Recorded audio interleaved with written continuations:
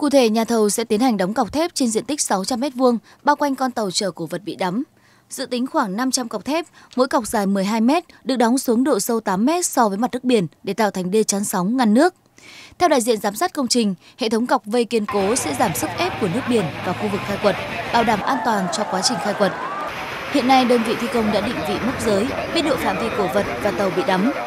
Theo kế hoạch, sau khi hoàn thành thi công đê vây, nhà thầu sẽ đưa hệ thống khung sườn bảo vệ vào bên trong đê để bảo vệ khu vực khai quật, đồng thời hút nước biển, trục vớt toàn bộ lưới sắt, hút cát quanh thân tàu và chính thức khai quật cổ vật và tàu đắm. Dự kiến sau khi hoàn thành các công đoạn chuẩn bị, việc khai quật trục vớt tàu cổ chính thức diễn ra vào cuối tháng năm này.